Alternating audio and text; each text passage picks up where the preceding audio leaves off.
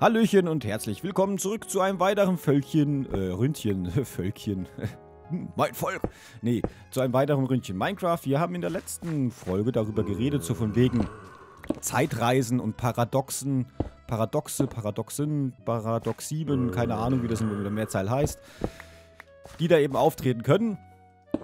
Wenn du es genau wissen willst, über was wir geredet haben, dann musst du halt nochmal die letzte Folge angucken. Ich will mich da jetzt nicht unbedingt nochmal wiederholen, so, weil da äh, verhaspel ich mich nur. Auf jeden Fall äh, ging es da um diese Paradoxen und dass die Zukunft, äh, die, die ähm, Natur solche Sachen gar nicht zulassen würde, eventuell. Und das äh, ist für mich eben einfach eine interessante Überlegung. Uch, zu sagen, die Natur schützt sich selbst vor solche, Para vor solche Para paradoximen, paradoxen Angelegenheiten. Und deshalb ist es gar nicht möglich, oder das ist gar nicht möglich, dass du, dass du dann irgendwas ändern kannst in der Vergangenheit. Dass es dann trotzdem immer dazu kommt, zu dem, was eben passiert ist. Ja, angenommen, du willst einen Autounfall verhindern, dann reist du zurück in die Vergangenheit und du verhinderst auch den Autounfall aber dann passiert irgendwie ein anderer Autounfall oder ein anderes, äh, ähm, äh, eine andere ja, Problematik, die dann auf einmal dasselbe bewirkt wie der Autounfall. Und deshalb, ähm, ich muss gerade hier zählen.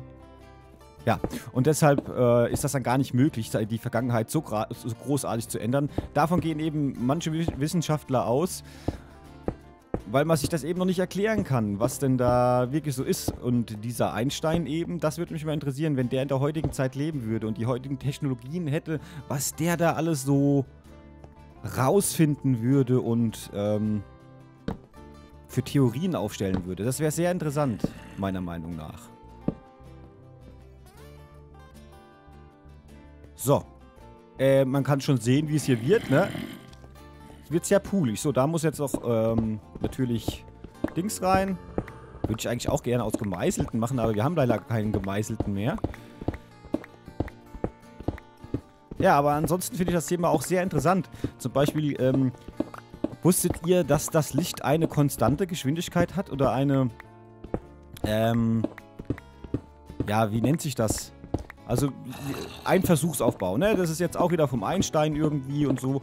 Ähm, und der hat eben festgestellt, also wenn man dann immer die Zeit und den Raum und Weg und äh, Bewegung betrachtet, die kann man immer von zwei Seiten betrachten. Einmal kann der Betrachter die betrachten und einmal kann eben der Bewegte das betrachten. Das heißt, wenn du jetzt auf einem Fahrrad sitzt und ich sehe dich an mir vorbeifahren, dann hast du für mich ja, ja, eine Geschwindigkeit, eine relative Geschwindigkeit. Du bewegst dich mit dem Fahrrad an mir vorbei. So.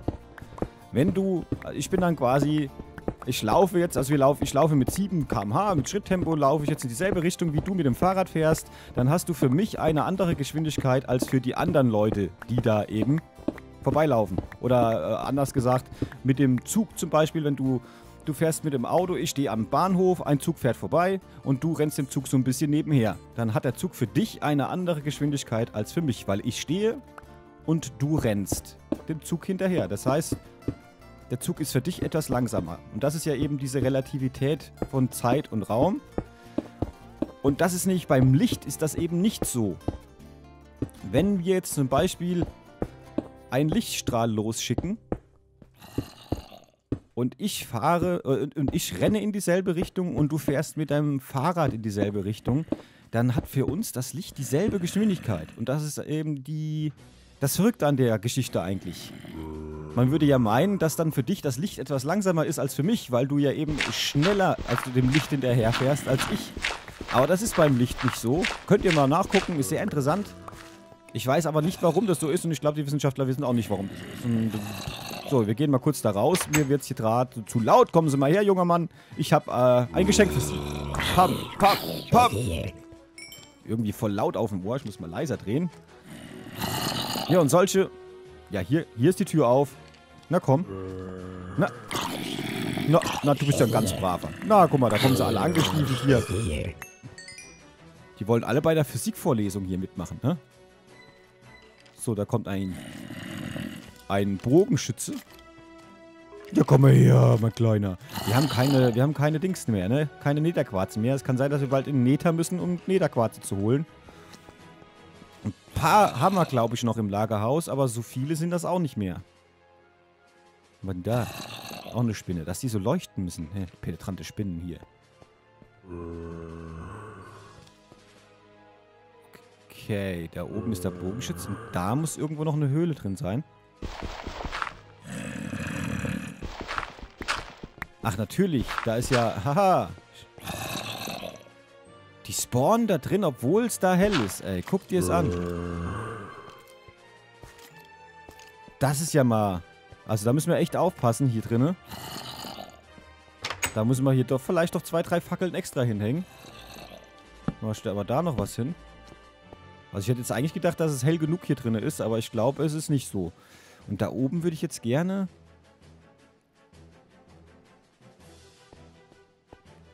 sowas hier machen. Ich fange mal da vorne an. Aber ich habe jetzt keine Slabs mehr. Aber ich glaube, wir haben im Lagerhaus haben wir noch ein bisschen was. Habe ich ja letzte...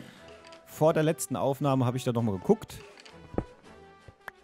Guck mal da. Guck mal da. Aua. Arsch. Arschkrampe. Verschwinde!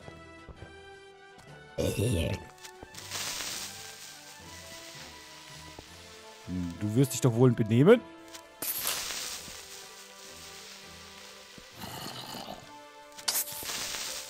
Nicht, dass der explodiert. So. Wo kommen die alle hierher da? Das gibt's doch gar nicht. Ist doch... Ich hätte jetzt eigentlich gedacht, dass es hell genug ist hier drin. Und hier würden wir natürlich... Ah, die können auch... Naja, vielleicht sind die auch einfach nur hier reingefallen. So. Und hier könnten wir natürlich dann den nächsten... Die nächste Räumlichkeit reinbauen. Ich weiß noch nicht was, aber irgendwas wird da uns auch noch einfallen.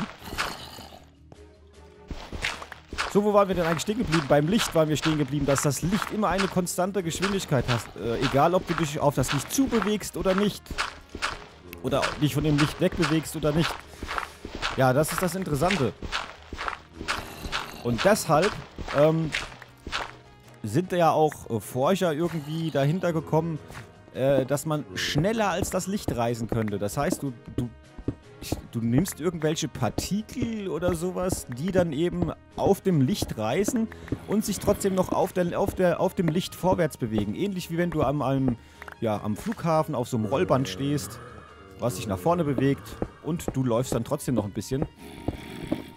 Dann hast du ja auch wieder eine relative Geschwindigkeit. gegenüber eben, äh, wenn du dann, also da ist deine Geschwindigkeit ja eine andere, als wenn du jetzt ähm, einfach so laufen würdest. Sehr interessante, sehr interessante Geschichten auf jeden Fall. Da könnte ich, oh, da könnte ich den ganzen Tag könnte ich mir so einen Scheiß reinziehen. Finde ich sehr gut. So, da fehlt doch jetzt, wieso fehlt denn da jetzt ein... Mann, ey. Scheiß Monster. Ich, ich wünschte, es wäre Tag, dann könnten wir jetzt mal schön aber ich, also schön ins Lagerhaus gehen. Uah, da ist ja, das ist so, gar nicht gesehen. Mich trifft der, aber ich kann ihn nicht treffen oder was? Guck mal. Wie unfair. Hässliche Fratze. So, jetzt müssen wir hier warten. Scheiße. Ich würde hier gerne Slaps reinzimmern.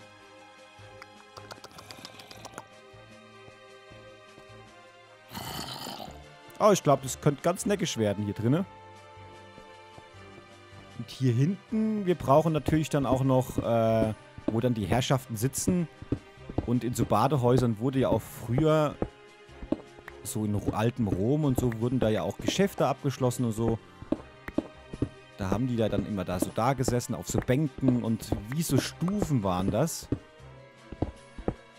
Das machen wir jetzt auch hier hin. So, Moment. Ähm... Da habe ich eine Reihe zu viel weggemacht. Das hätte ich eigentlich lassen können. So. Weißt du, da kann man sich dann da so hinsetzen. Und da ist die nächste Reihe. So. Pam, pam, pam, pam. So. Und da sitzen die dann da und können ihre Geschäfte äh, klären. Oder so. da oben, da muss dann auch noch weiß reinigen. Da kann man mit Slaps zumachen, das ist gut. Da hinten muss noch rein. So. Da muss auch noch rein. Jetzt wird Tag. Jetzt können wir mal schnell ins Lagerhaus gehen.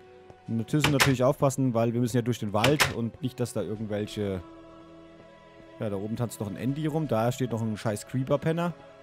Vielleicht kommt er ja runter, wenn wir den mal hier so ein bisschen antriggern. Na, der ist zu weit weg. Wow, wo kam der denn her? Penner.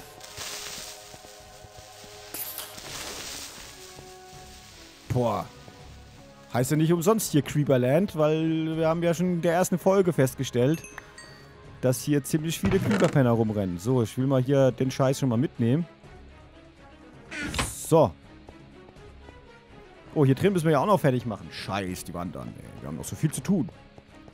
Der Eingang ist auch noch nicht so pompös, wie er eigentlich sein soll. Da muss doch sowas wie eine Burgmauer einmal außenrum oder sowas. So, und jetzt müssen wir hier Scheiße, scheiße, scheiße. Hoffentlich ist da jetzt kein Creeper. Ich renne hier einfach mal durch. Hier ist nämlich sehr dunkel.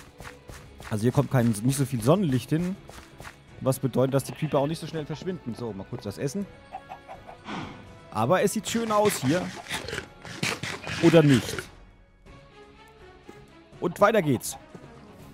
Lauf, lauf, Lola, lauf. Lola rennt. Kennt den Film überhaupt noch einer von euch? Der ist ja schon sehr, sehr alt. Wupp, wupp.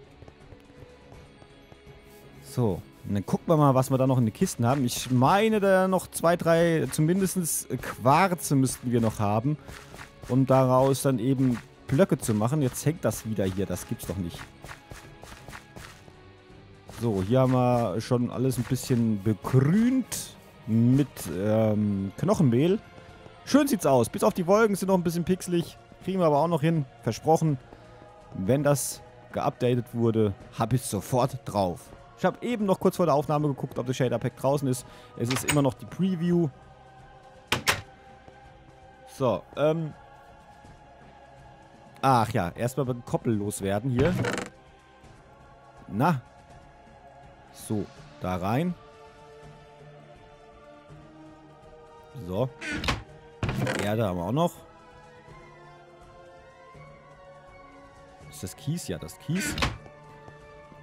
Das da kommt da rein. So. Knochenmehl können wir uns mal mitnehmen. Hier.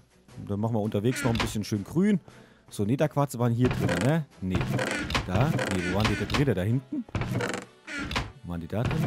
Wo waren die drinnen, Mann? Verdammt. Und jetzt hängt die Framerate auf einmal wieder. Ich, verstehe es nicht. Ah, hier waren die drinnen. Guck mal da. So. Da haben wir sogar noch ein paar. Müssen wir bald wieder in den Nether fahren, um die zu machen. So, das bedeutet so. Oder muss man die backen? Ich weiß es gar nicht mehr. Boah. Wie war denn das nochmal? Ach, zum Glück nur so. Sonst wären das äh, ziemlich teure Blöcke gewesen. Oh, la, la, la. So, nächstes Lied. Na, was mache ich denn da? So, so und so. Pam. Sind nicht so viele. Könnte knapp werden, weil wir brauchen ja auch noch... Scheiße, scheiße. Ich glaube, wir müssen mal noch wieder einen Nether. Machen wir dann in der nächsten Folge oder so. Und dann aber auch ohne den Shader, weil ich glaube, der ist im Nether nicht so mega gut. So, das sind nur 60. Scheiße, das könnte knapp werden. Ähm, das Glas können wir jetzt erstmal... Haben wir das irgendwo da drinne? Da oben. Kies haben wir hier. So. Ich, ähm, wir nehmen mal noch so äh, Birken mit. Ja, aber nicht so viele, sagen wir mal so. Na, so. Davon brauchen wir noch ein paar. Müssen wir noch setzen. Dann können wir auch ein bisschen Laub mitnehmen. Jo. Ähm. Was brauchen wir noch? Verdammt. Ich brauche noch was. Ich weiß es. Ich weiß es genau. Und ich habe es vergessen, was es ist. Spitzhacke müssten wir reparieren. bevor wir in den Nether gehen. Ach, Eimer, siehste, genau. Gut, dass du sagst. Eimer muss ich mitnehmen. Wasser. Hier. Drei Eimer.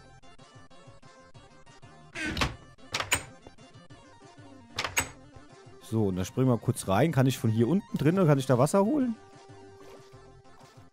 Ja, geht. Sieht cool aus von hier unten irgendwie. So schön grün.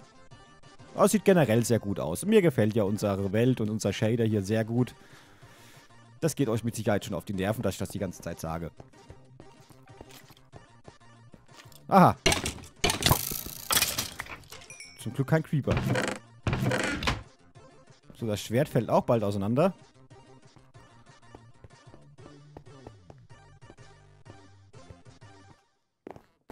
Ach ja, die Bäume sind ja so komisch weiß hier. Na, da flimmert es immer mal überall.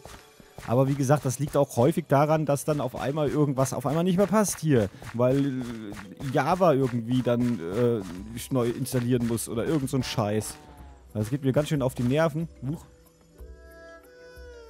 So.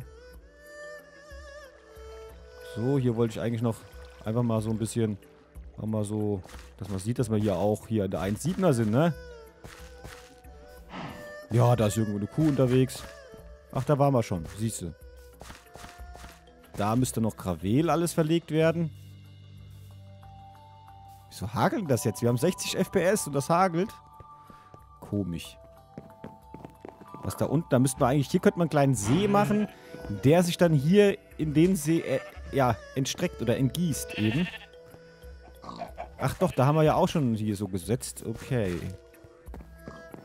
Oder war das automatisch so? Kann mich gar nicht daran erinnern, dass wir hier das gemacht haben. Komme ich nie wieder raus? Scheiße.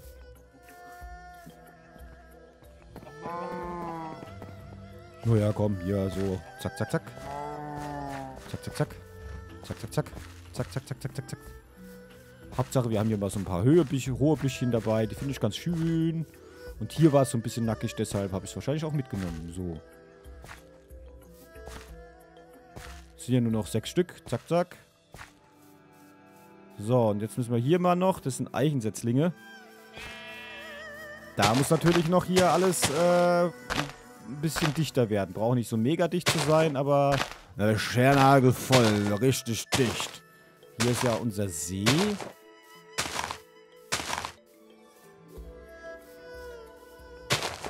Mhm. Machen wir hier auch schon noch Bäume hin? Ja, oder? So ein paar können wir ja machen. Jetzt habe ich hier so einen Haufen Bäume mitgenommen. Ich weiß gar nicht warum. Hier noch 64 Öcken haben wir hier.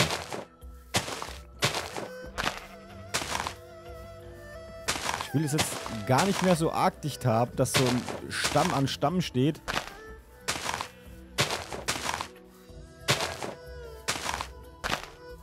So, dass man da gescheite Wege durchbauen kann.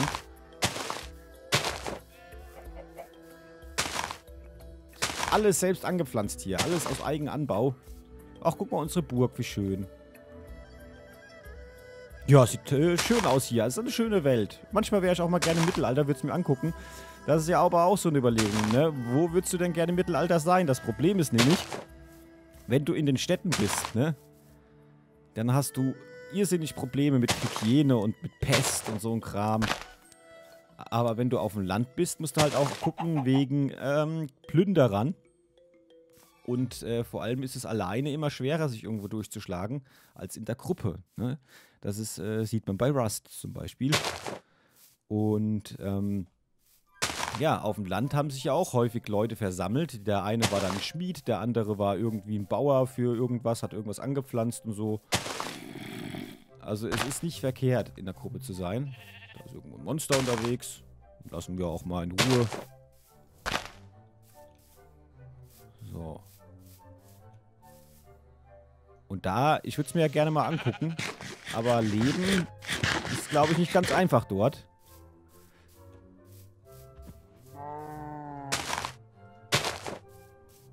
Aber mal gucken, was die Zukunft noch bringt, was für Möglichkeiten wir in der Zukunft haben. Vielleicht kann man ja wirklich zurück in die Vergangenheit mal reisen oder zumindest sich das angucken. Also, dass man nicht zurückreist, sondern irgendwie ähnlich wie bei Déjà-vu, bei dem Film Déjà-vu. Ich weiß nicht, ob den einer kennt.